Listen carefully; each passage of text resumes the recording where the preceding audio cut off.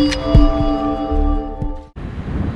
Seis empresas están en carrera para adjudicarse el proceso que permitirá conocer la cantidad de reservas hidrocarburíferas con las que cuenta el país hasta el 31 de diciembre del 2017. El pasado 24 de enero, en instalaciones de yacimientos petrolíferos fiscales bolivianos, de acuerdo con el programa del documento base de contratación, se efectuó la apertura de propuestas de las seis firmas, de las cuales estarían en carrera aún Netherland Ancillary Association, la que ofertó por el trabajo de cuantificación y certificación de reservas 950 mil dólares. Miller and Lessing Limitada 615 mil dólares. Asociación Accidental Reed Advisor 832 mil 500 dólares. Gaffney Clinic Association 958 mil dólares. Lord Registren 846 mil dólares. Y Pudling International Limited 750 mil dólares. La ley 3740 de Desarrollo Sostenible del Sector Hidrocarburos manda que hasta el 31 de marzo de cada año